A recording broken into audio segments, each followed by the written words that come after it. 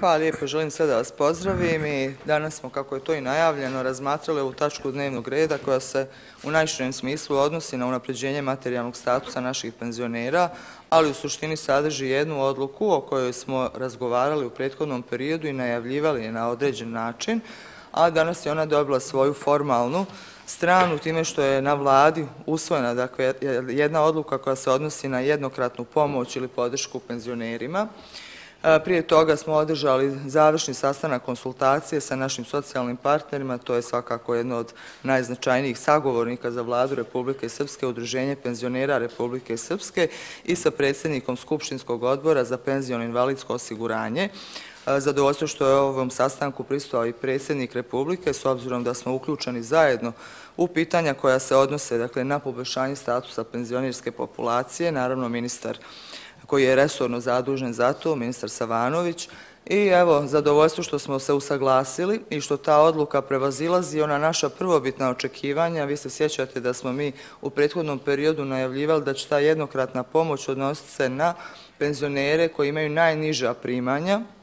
Smatramo da su oni najugroženija kategorija, i da smo u tu svrhu rekli da ćemo na raspolaganju imati negdje između 12 i 15 miliona konvertibilnih maraka. Tome je prethodila analiza vezana zakle, za izvršenje budžeta i mi smo rekli da ćemo nakon pola godine e, već moći da izađemo sa jasnim pokazateljima. E, mi smo ipak, dakle, kroz ove razgovore u prethodnih nekoliko dana došli do malo drugačije odluke koja je povoljnija i bolja. E, ona ono će podrazumijevati da su kroz ovu jednokratnu pomoć uključani svi penzioneri Republike Srpske, ali naravno da se tu podrazumijeva određena gradacija e, pomoći, a ona opet zavisi od primanja koje imaju naši penzioneri. Iz tog razloga, konačna odluka koju je usvojila danas vlada Republike Srpske i zbog toga sam naravno i zadovoljna i ponosna, jeste da svi penzioneri koji im primaju, dakle, penziju do visine prosječne penzije od 366 konvertibilnih maraka e, dobit će jednokratnu pomoć u iznosu od stotinu konvertibilnih maraka. Penzioneri koje primaju dakle, svoje penzije u iznosu do prosječne plate u Republici, što iznosi 850 maraka, njihova pomoć će sastojati se od 50 konvertibilnih maraka, a da svi ostali penzioneri, oni koji dakle, imaju primanja preko prosječne plate u Republici, preko 850 maraka, dobijaju jednokratnu pomoć od 30 konvertibilnih maraka. Dakle, mi smo se ovdje rukovodili tim stvarima i postavili neke orijentire. Prvi orijentir jeste prosječna penzija, drugi jeste prosječna plata i ono što jeste dakle, preko prosječne plate. To znači da će za to biti potrebno izdvojiti više novca i prema nekim našim procjenama sada, dakle s obzirom na ovu inoviranu odluku, to će se kretati oko 17 miliona maraka umjesto prvobitno 12 do 15 ili od 17 maksimalno 20, što će opet zavesti kad se srede sve evidencije. Što se tiče same tehnike isplate, onako kako je to dogovoreno i sa penzionirskom populacijom i sa njihovim predstavnicima, to će se dešavati dakle, u mjesecu septembru. Prvo ćemo ići na redovnu isplatu penzija, kao što znate, to je deseti u mjesecu, e, a nakon toga, nakon nekoliko dana, kad se završi dakle, taj dio isplate, nakon nekoliko dana ćemo svim penzionerima u toku jednog dana dakle, uputiti ovu jednokratnu pomoć. Računamo da je realno da će to biti negdje oko 20. ali evo, zavisi od ovih evidencija koje se sređuju i koje će se sad sređivati u ovim danima. Može da bude dan, dva prije ili posle toga, ali računamo da bi to bio neki naš ciljni datum.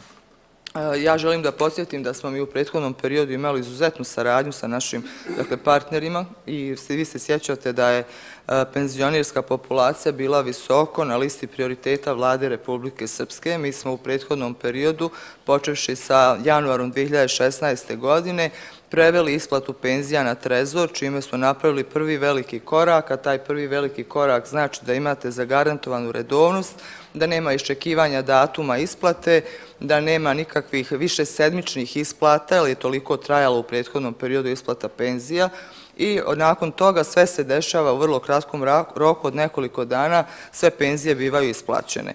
Paralelno s tim, mi smo radili na jačanju same materijalne osnove i kroz nekoliko koraka, dva puta kroz redovna, ostalo kroz vanredna usklađivanja penzija, došli smo do toga da je ukupno povećanje, dakle iznosi nekih blizu 20%, Naravno, izrazili smo svoju oprediljenost da se nastavimo i dalje baviti na odgovoran način penzionerskom populacijom, znajući da oni spadaju u red najugroženijih. Prema tome, evo i ovaj način isplate jednokratne podrazumijeva neku podršku dakle njima. Kao što smo dogovorili na početku godine, polovinom godine, kad budemo imali pokazatelje vezano za budžet, sve što ostane viška, da tako kažem, stavit će se na raspolaganje za jednokratnu pomoć i mi smo danas u prilici evo, da donesemo i donijeli smo tu odluku i da krenemo da je realizujemo. Naravno da smo razgovarali o nekim dodatnim mjerama, koje podrazumijevaju dalju podršku penzionerima, imamo zahtjeve o kojima ćemo se izjašnjavati shodno našim zakonskim mogućnostima i rješenjima, a po potrebi mijenjati određene propise, ali u svakom slučaju te inicijative koje dolaze odnose se na neku drugu podršku, bilo je da je riječ o ogrevu, bilo je da je riječ o e, subvencionisanju električne energije, odnosno nekoj podršci te vrste, dakle to ostaje da se radi, da se time bavimo u narednom periodu.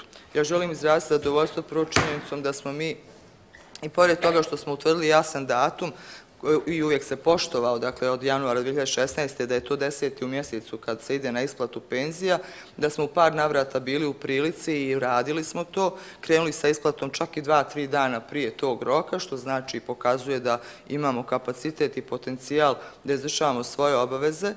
Zadovoljstvo je veće, jer se ja sjećam da u vrijeme, recimo, nakon krize i sjećam se da na početku mandata ove vlade, da smo mi imali negdje oko 66% punjenje, dakle, iz doprinosa za penzijone osiguranje. Mi danas govorimo o 80 ili 85%, dakle, punjenja iz doprinosa, prema tome to već pokazuje da solidno stojimo, naši su prihodi stabilni i dobri, mi imamo već redovno po pravilu e, neko izvjesno vrijeme, dvije ili dvije i pol godine, više sredstava prikupimo nego što je to planirano, prema tome to sve znači da se Republika kreće u dobrom pravcu, da je naša materijalna osnova bolja, da su naše javne financije apsolutno dovedene u red, da nemamo nikakvih budžetskih problema, nikakvih kašnjenja nema, nikakvih zaostataka nema. Umeđu vremenu uspjeli smo da reagujemo prema svim drugim kategorijama, dakle ne samo prema penzionerima i vama je poznato da smo mi povećali, e,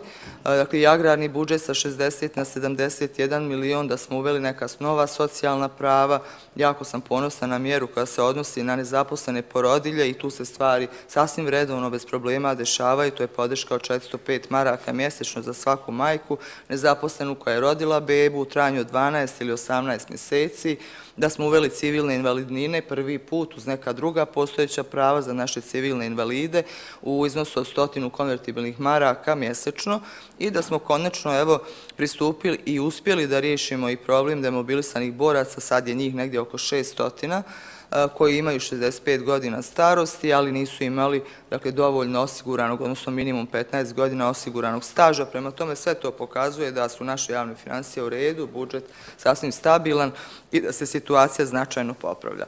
Evo, zadovoljstvo što smo mogli danas donijeti ovu mjeru onako kako je to od nas traženo od strane i udruženja, ali i Skupštinskog odbora. Hvala lijepo.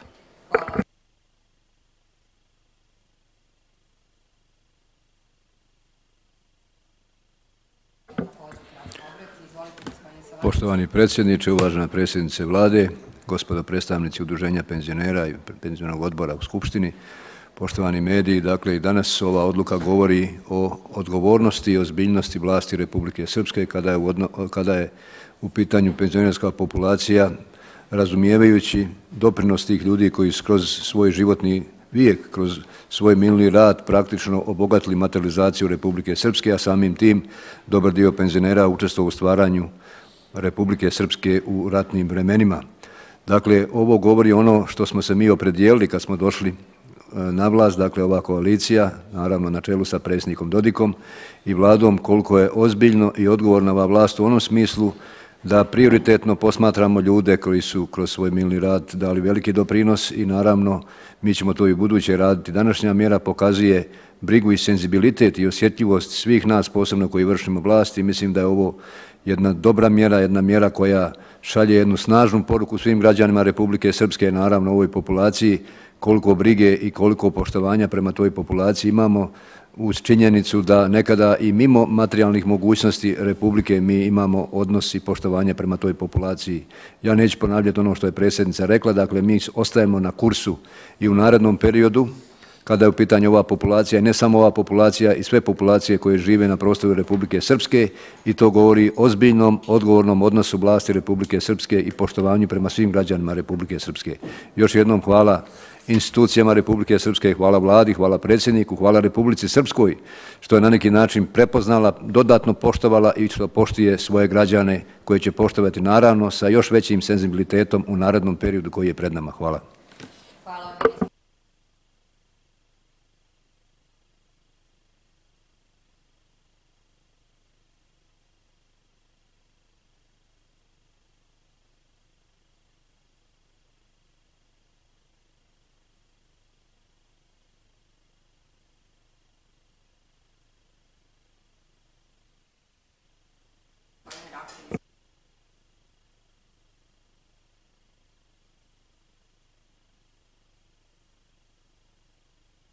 Evo, dobro. Čuli ste od predsjednice vlade šta smo dogovorili, a ovaj dogovor je i dio rasprave koja je vođena među penzionerima u vremenu kad, smo, kad se vlada opredijelila da može pomoći dodatnim sredstvima onima koji imaju manje, koji nemaju dovoljno za život i rezultat te rasprave i jesu neke promjene. Mislilo se samo njima pomoći, ali većina ljudi u penzijskom osiguranju je upravo insistirala da osjete svi penzioneri dio ove pomoći. Ja posebno eh, naglašavam penzionerima koji imaju srazmjernu penziju E, i od nekih drugih država, primaju koliko god primaju, nekad se jave u kancelarije PIA kako bismo pravovremeno dobili podatke o njihovim primanjima, kako bi raspodijelili u određene grupe. Hoće li dobiti 100 maraka, hoće li dobiti 50 ili 30, molimo za razumijevanje, nije teško jer mi u svakoj opštini imamo kancelariju PIA. Mi te podatke o njihovim primanjima iz Njemačke, iz nekih drugih država, nemamo, ali, ali su oni naši građani i mi, mi ćemo s njima obaviti ove razgovore. Ja se izvinjavam što, što se ovo dešava. A inače se meni... Da se stitaju, naravno. Odmah oni vide, valjda, je li ovo direktno, ne znam. Pa onda vide i odmah zovu, vidite živa je diskusija stvarno bila. Evo, ja sam neki dan bio u, u Bijeljini. Koliko je god nije bilo, svi su tražili, hajde da svi to osjetimo. Pa evo i ova, ovakva ova rasprava je bila sa predstavnicima vlade, sa predsjednicom u stvari i sa njenim članovima vlade. Dva, tri puta smo razgovarali u posljednjih nekoliko dana, a davno smo dogovorili da će biti ove pomoći. Ja se zahvaljujem predsjednici vlade za njenu posebno, njeno angažovanje oko ovih pitanja, naših problema i onih siromašnih ljudi u našem penzijskom sistemu. Oni su zahvalni mnogi i njoj i očekujemo da će i ova rasprava, odnosno ova naša podjela sredstava njih će ukupno biti blizu 20 miliona. Ali, pošto je veliki broj korisnika, 161 hiljada i još nešto stotina biće, dobit će ovu pomoć. Nemamo... 260. 260, ja sam preko 100. 200. Omanuo sam za stotinu hiljada.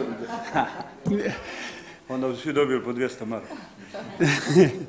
Dobro, eto, s ovom ispravkom ovaj, mog lapsusa, jel, ovaj, ja eto, toliko imam javnosti da kažem i očekujemo i podršku oko rješavanja naših drugih inicijativa, a posebno pripreme za zimu, mnogi penzionerski, mnoge penzionerske porodice nemaju uvijek uslova da obezbijede ni zimu, za zimu drva, ogrev. bilo da se grije na, ne, bilo na kako, kako se grije. Nadamo se da ova naša državna preduzeća koja dobro u ovoj godini posluju, da imaju dobit, da onaj dio dobiti koji pripada Republici, da učestvuje u snabdjevanju, boljem snabdjevanju ogrevom naših korisnika, penzionera, korisnika prava penzijskog osiguranja. Hvala gospodine Rapo i gospodine Stefančević, izvolite vi. Poštovani predstavnici medija, poštovane predsjednice, poštovani gospodine predsjedniče Republike, Očito je da je vlada Republike Srpske u posljednjih pet godina pokazala dobru volju da penzionerima pomogne na taj način što će se njihov materijalni položaj poboljšati, pa je tako 2015. godine dosta hrabro isplatu penzija prenjela na trezor i tako zaustavila kreditno zazuženje fonda PIO za novac kod banaka u Republike Srpskoj. Međutim, u posljednje vrijeme e, vlada je razmatrala materijalni položaj korisnika prava u Republike Srpskoj i zaključila da će na određen način jednokratnom noćnom pomoći pomogne penzionerima sa najnižim primanjima i mislim da je to dobro i jezgrovito objasnila predsjednica vlade. Mislim da bi trebalo, šta bi trebalo, ne znam još reći, pa da bude jasnije ja u ime odbora za praćenje stanja u oblasti penzijskog invalidskog izguranja zahvaljujem se vlade Republike Srpske koja je ispunila svoje obećanje i upriličila ovu jednokratnu pomoć penzionerima, ne samo ovim sa najnižim primanjima, nego i napravila jednu gradaciju o kojoj je predsjednica dobro rekla. Ja se nadam sad ako neko mene pita je li ovo dovoljno, ja bih rekao da nije, ali jeste nešto u odnosu na trenutno stanje i moć vlade Republike Srpske.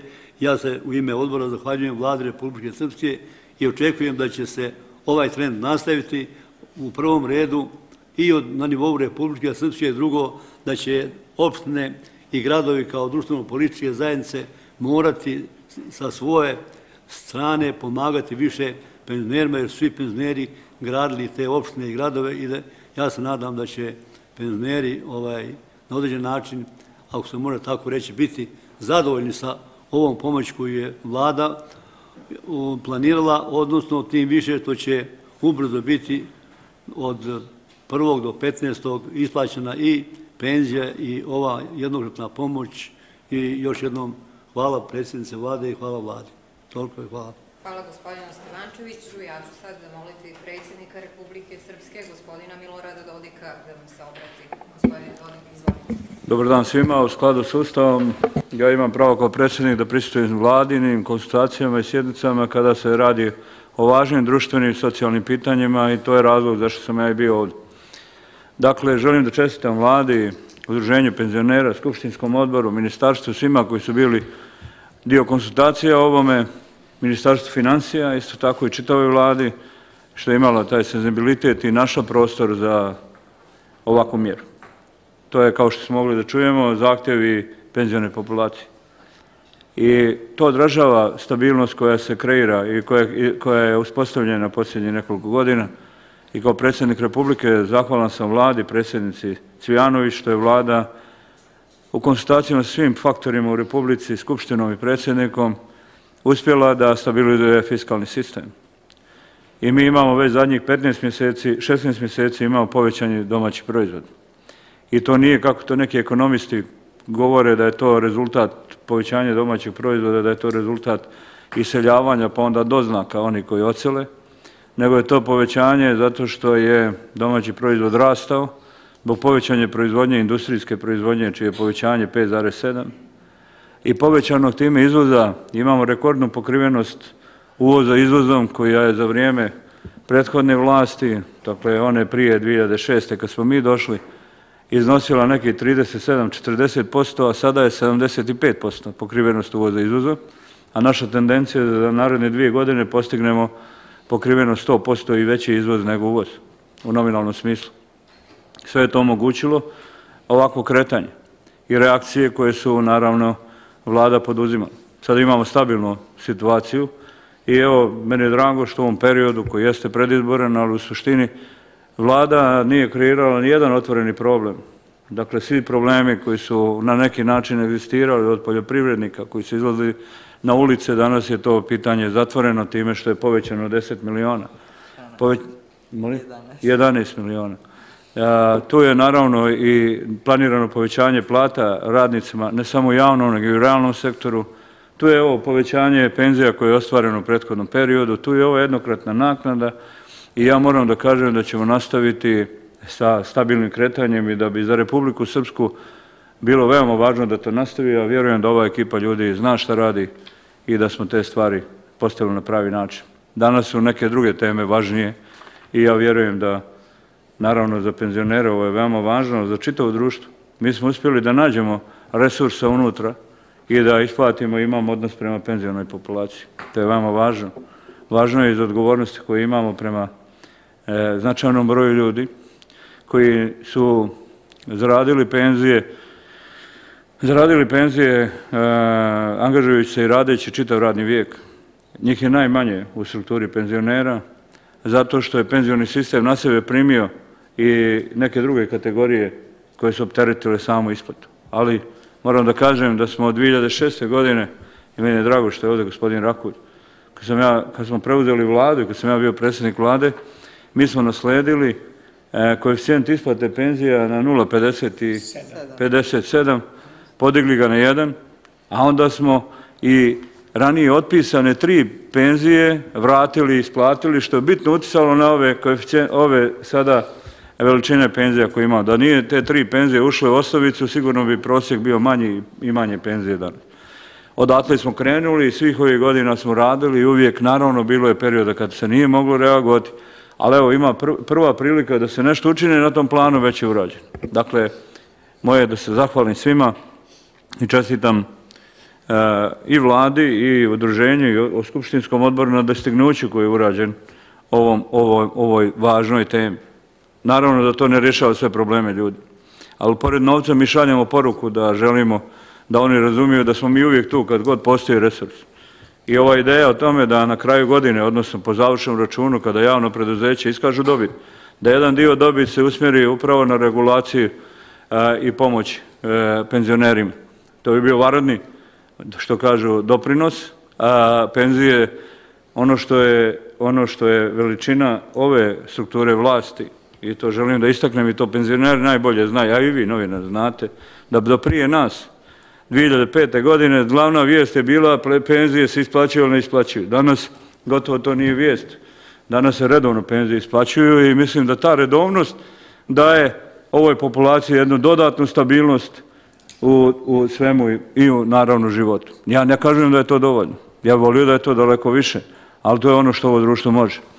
Dakle, nismo uspjeli da riješimo pitanje, da rasteritimo penzioni fond drugih kategorija pristeklih iz rata ili na neki drugi način, ali onda kao država smo iz budžeta odlučili da, da povećamo penzioni fond i ključna reforma koja se desila u ovoj oblasti jeste reforma e, da se prenijelo na trezor plaćanje, tako da u prioritetima isplate penzija više se ne misli ima li novce ili nema, nego one budžet dijeli odgovornost za isplatu penzije.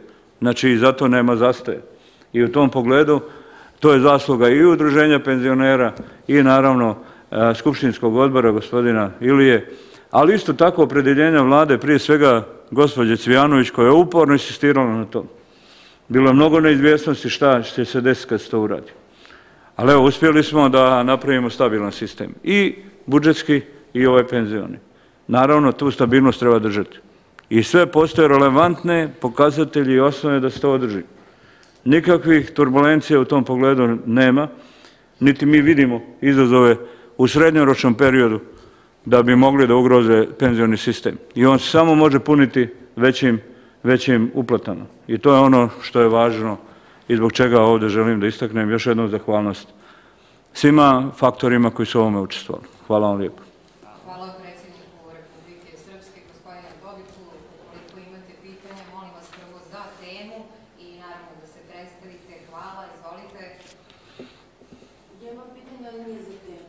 Pa za tem, sačkaj. Pa rekla je za tem, možda neko ima za temu. Ako nema, onda vi izvolite. Ako nema, izvolite. Anđel Kovačević, N1 televizija. Gospodin Dodik, bili ste jutro u posjeti kolegi Vladimiru Kovačeviću. Više stotin novinara se danas okupilo u blizini palate predsjednika. E, šta ćete uraditi po pitanju medijskih slobodnika? Koliko ja znam, bili su u dvorištu e, hrama. Dobro, jeste, ali evo, ne znam zašto se potencira, ali nije problem. Ja sam, dakle, osuđujem napad. To je bilo apsolutno za svaku osudu i ja sam zahtjevao i zahtjevam od policije da zaštiti sve građane, posebno vas, novinare, od bilo kakvih mogućih pritisaka, pogotovo fizički. I zahtjevam od policije ovog trenutka da poduzme sve moguće mjere, bez obzira na izazovnost svega toga E, i vjerujem da će MUP, kada do toga dođe, moći da saopšti neke podatke. Da, ja sam posjetio sam. Prije toga sam ga nazvao telefonom, pitao ga uljudno da li pristaje da ja njega posjetim, on je pristao, ja sam tako i otišao.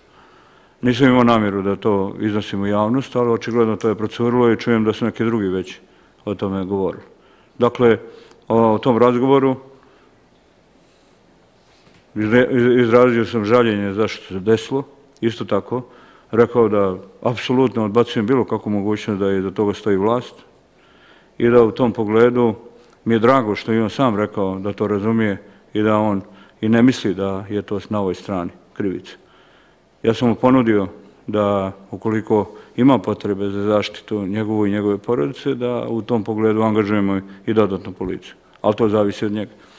I ono, ako on odluči se za to, mi ćemo uspostaviti Zašto? mada moram da kažem da po službenoj dužnosti sada postoji određeni krug zaštite oko svega i pokušat ćemo da kreiramo da svi važni ljudi iz vaše profesije, svi vi, imate neku posebnu, ne da bi se pratili ili bilo šta učinili, nego da se prati jedna e, prikuplja informacija o mogućim eventualno problemima te vrste. Mi nismo, dakle, pored osude, želim da kažem da ne postoji u Republici, nije tačno da postoji atmosfera linča, neki to možda žele, ja odbacujem tako nešto i vi ste svjedoci da to nije tako. Ali bez, e, pored ove osude što razumijem, pogotovo što se radi vašem kolegi, ja isto tako izrazavam svoje žaljenje, svi zajedno treba da učinimo da društvo bude stabilnije.